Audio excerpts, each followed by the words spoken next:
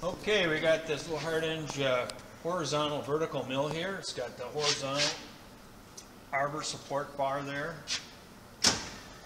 That's in low speed right there.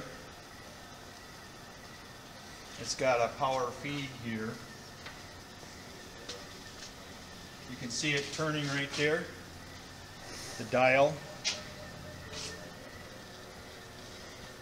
And this little thing here, trip that thing, and it'll bump into this or this and shut off. You got uh, real easy to see big dials on here, and they're really, the machine's really tight. I mean, it's like that tight. Of course, up and down is pretty tight.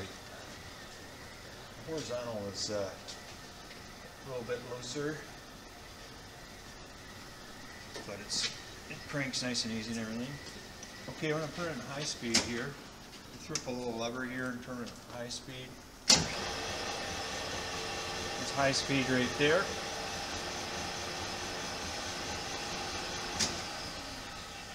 And it's got reverse here.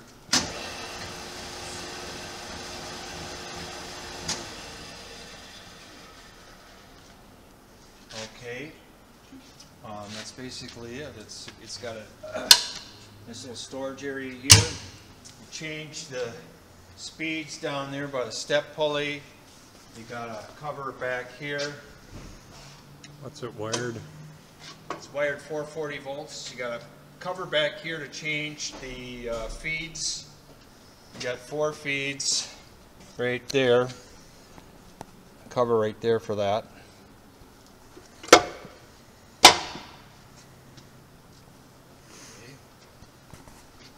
That's basically it.